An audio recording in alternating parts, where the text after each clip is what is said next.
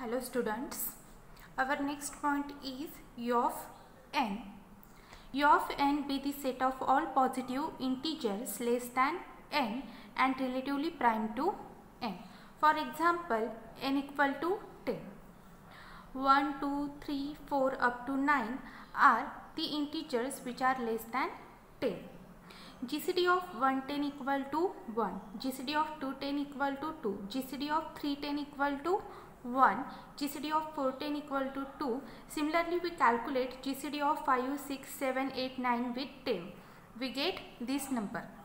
Now, u of n means the set of all positive integers less than n and relatively prime to n. Relatively prime to n means GCD with n of these integers are nothing but the 1.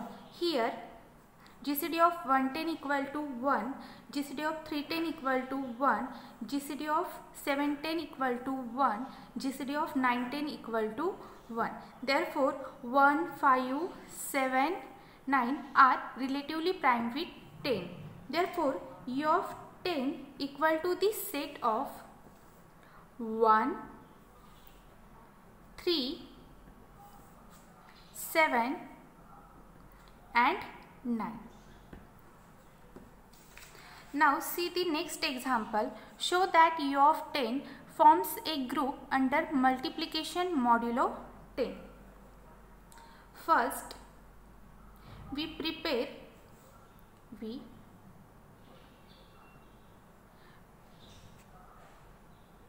prepare the Cayley table, the Cayley table for U of 10. We know U of 10 equal to 1, 3, 7, 9. Now, multiplication table of U of 10 is 1, 3, 7, 9. Here also write 1, 3, 7, 9. Multiplication under modulo 10. 1 into 1, 1 into 3, 3, 1 into 7, 7, 1 into 9, 9. Similarly, 3 into 1, 3, 7 into 1, 7, 9 into 1, 9. 3 into 3, 9, 3 into 7 means 3 into 7 equal to 21 but under modulo 10 we can see that 21 is congruent to 1 modulo 10 means 10 divides 21 minus 1 means here 3 into 7 21 but 21 is congruent to 1 modulo 10 we write 1 here. Similarly 3 into 9 we get 27 which is congruent to 7 modulo 10 means 10 divides 27 minus 7 and for your understanding or for your trick how to find this number 27 10 27 remainder we can write here. 7 similarly 7 into 3 21 1 7 into 7 49 49 is congruent to 9 modulo 10 7 into 9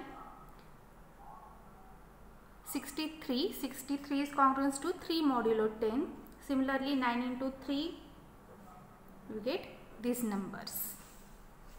Now here you can see that multiplication is associative and commutative on u of 10 also 1 is the identity element because 1 into 1 1 into 3 3 1 into 7 7 1 into 9 9 therefore 1 is the identity of this table or this set.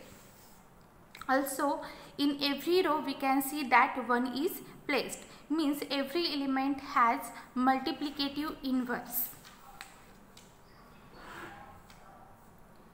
We observe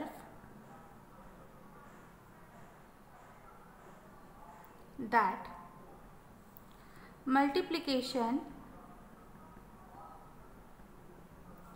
is associative and commutative on U of 10. Also 1 is the identity element of U of 10 also the inverse of 1 3 7 and 9 are 1 7 3 9 respectively. Therefore from this we can say that U of 10 forms an abelian group with respect to multiplication. With respect to multiplication. Now next point is elementary properties of groups. First theorem uniqueness of identity. In a group G there is only one identity element. Means the group contains only one identity element proof is suppose by contrary we prove that suppose we have two identity elements we have two identity elements E and E dash in G. Since is the identity element we have E star A equal to A star E equal to A for all A belongs to G. Here E and E dash belongs to G. Here we said that for all A belongs to G means here A can be E dash. That's why substituting a equal to e dash we get e star e dash e dash star e equal to e dash. Give us equation number 1 now suppose e dash is the identity element e dash is the identity element element implies dash e dash star a equal to a for all a belongs to g means here a can be e. Put a equal to e we get e dash star e equal to a. Give as equation number 2 from 1 and 2 we get e dash star equal to e dash also e dash star equal to sorry not a e. Because here we put a equal to e that's why here not a here e. From 1 and 2 we get e dash star e equal to e dash and e dash star equal to e left hand side are equal therefore right hand side must be equal. Therefore we get e dash equal to e. Now see the next theorem.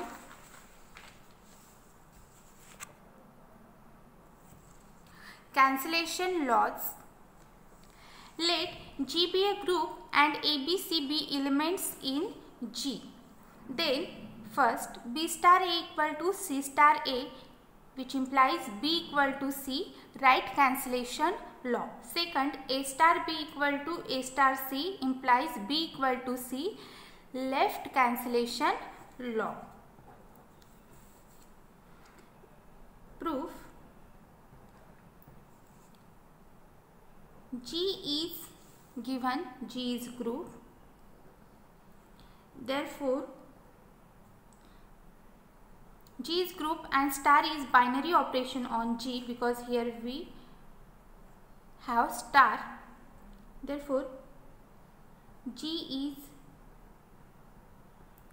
associative. Also G has identity. Also G has inverse. Identity. G have identity G have inverse means all the properties of group are satisfied by G.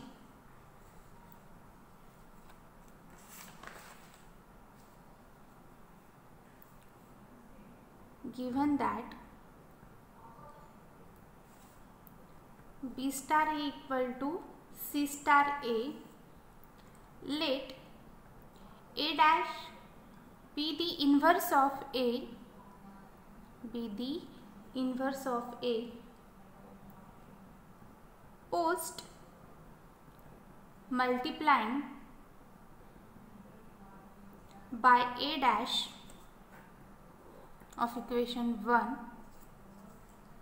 we get b star a star a dash equal to c star a star a dash which implies b star a star a dash equal to c star a star a dash since star is associative because G is group which implies A star A dash means identity. B star E equal to C star E where A star A dash equal to E not where since A star A dash equal to E A dash means inverse which implies B star E means B equal to C star E means C. We get B equal to C. First is proved. Now second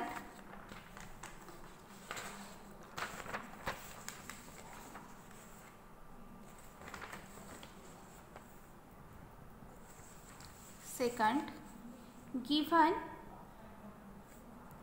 A star B equal to A star C.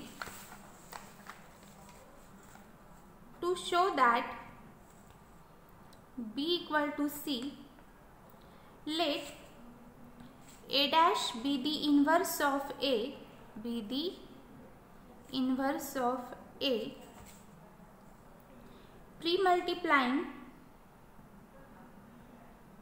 pre-multiplying pre-multiplying A dash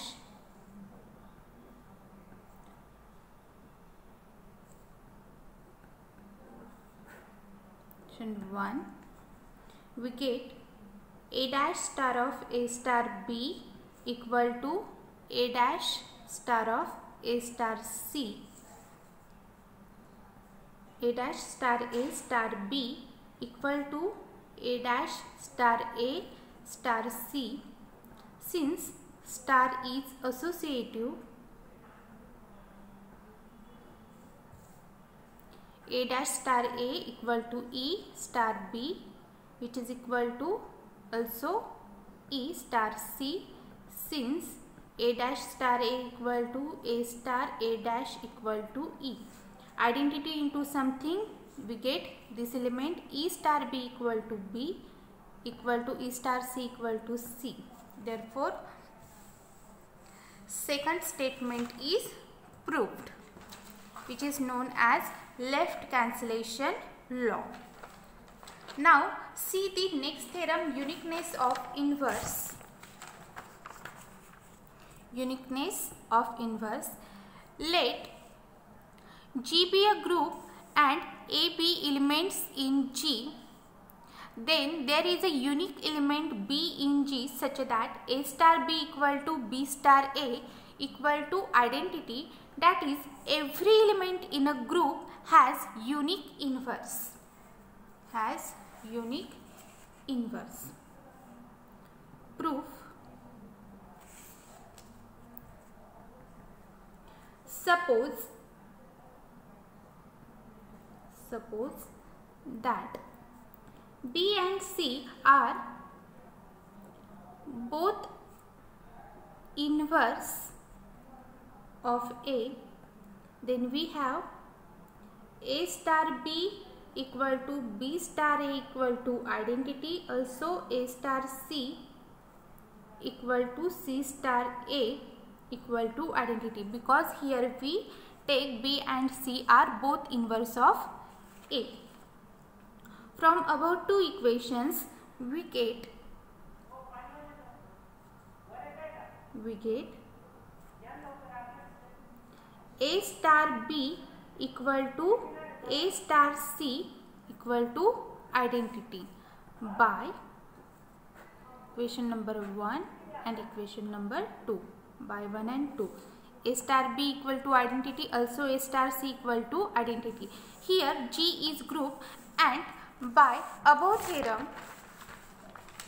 Let g be group and a b c be elements in g then b star a equal to c star a implies b equal to c. Also a star b equal to a star c implies b equal to c. Left cancellation law.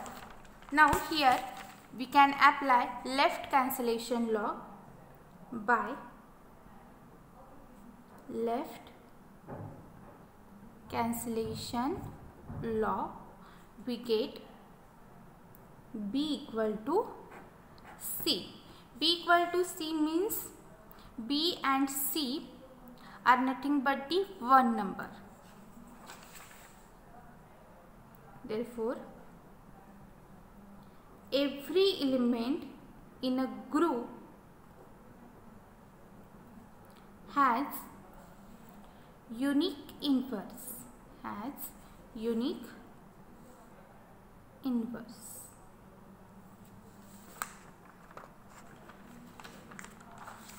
Now next next point.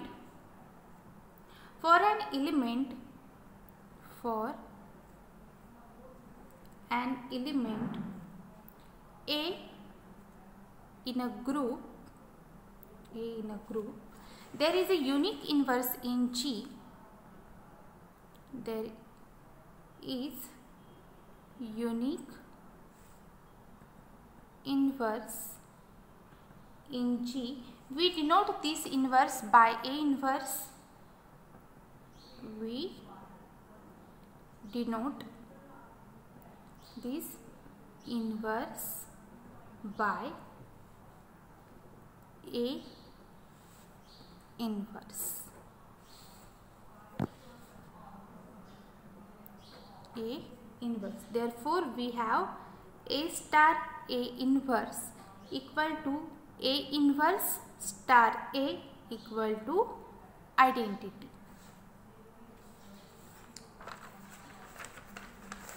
Also, from above expression, it is clear that which expression A star A inverse equal to A inverse star A equal to identity means A inverse is the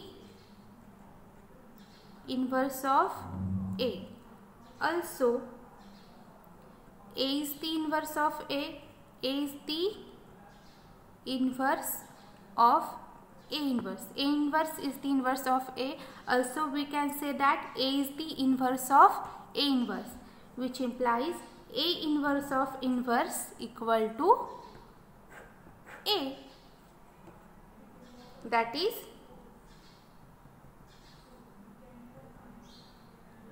inverse of A inverse is A. Now See the next theorem. Socks shoes property.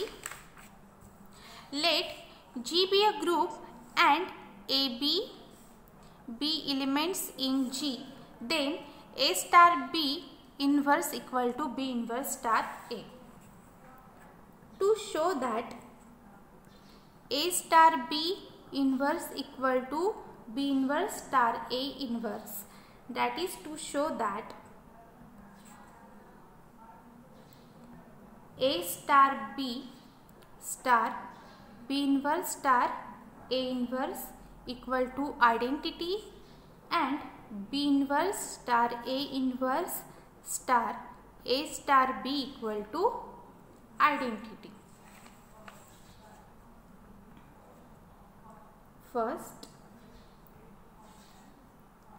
A star B star B inverse star A inverse equal to A star B star B inverse star A inverse since star is associative equal to A star B star B inverse E star A inverse since B star B inverse equal to identity.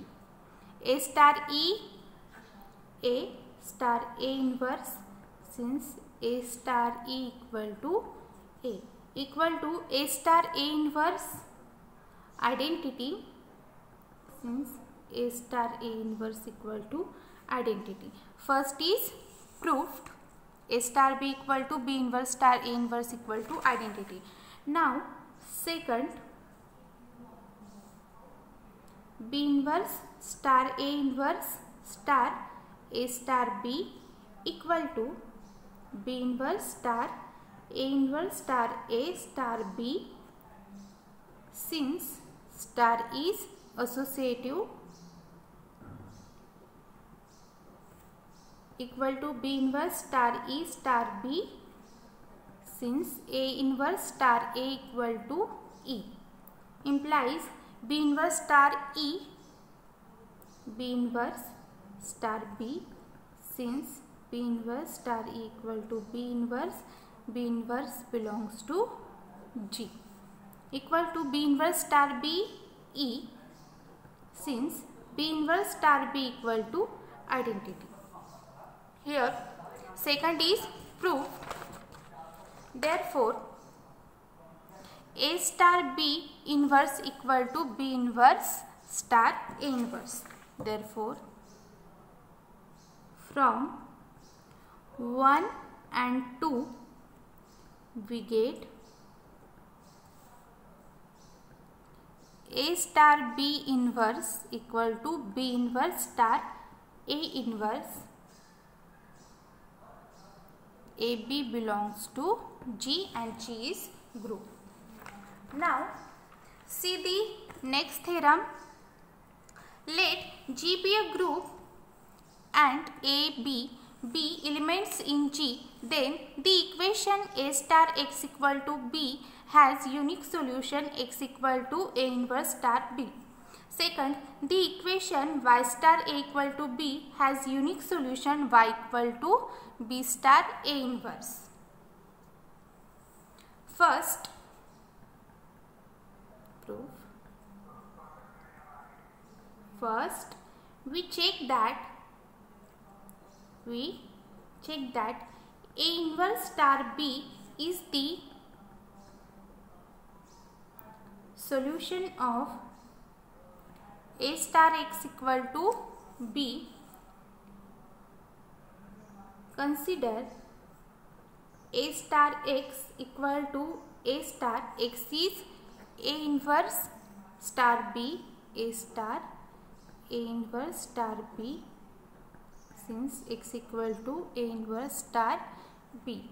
Equal to A star A inverse star B since star is associative A inverse star A or A star A inverse means E star B since A star A inverse equal to E equal to B since E star B equal to B.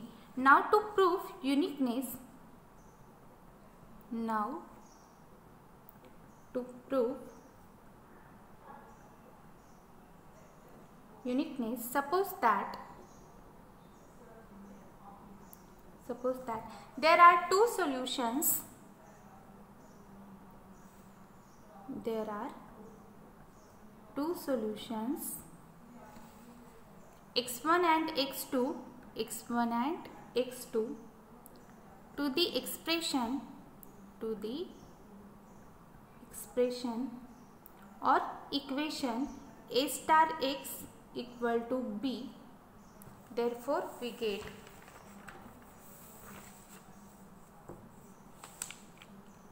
a star x1 equal to b and a star x2 equal to b. a star x1 equal to b, a star x2 equal to b means a star x1 equal to a star x2 and by left cancellation law x1 equal to x2 by left cancellation law therefore the equation a star x equal to b has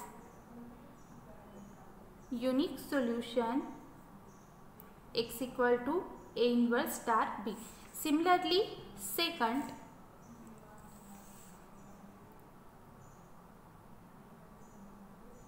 b star a inverse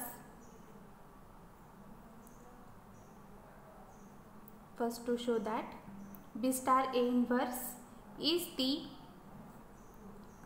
solution of y star a equal to b. y star a equal to y is nothing but the b star a inverse b star a inverse star a. Since y equal to b star a inverse b star of a inverse star a since star is associative which is equal to b star e since a inverse star a equal to identity b star e equal to b since b star e equal to b. Means here we showed that b star a inverse is the solution of y star a equal to b. Therefore b star a inverse is the solution of y star a equal to P. now, to prove uniqueness, suppose that there are two solutions y1 and y2 to the equation to the equation y star a equal to b. Therefore, we get y1 star a equal to b and y2 star a equal to b. This equal to b therefore y1 star a equal to y2 star a and by right cancellation law y1 equal to y2 by right cancellation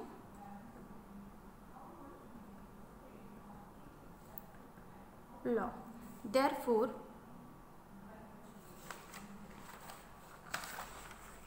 therefore the equation y star a equal to b has unique solution y equal to b star a inverse. We stop here.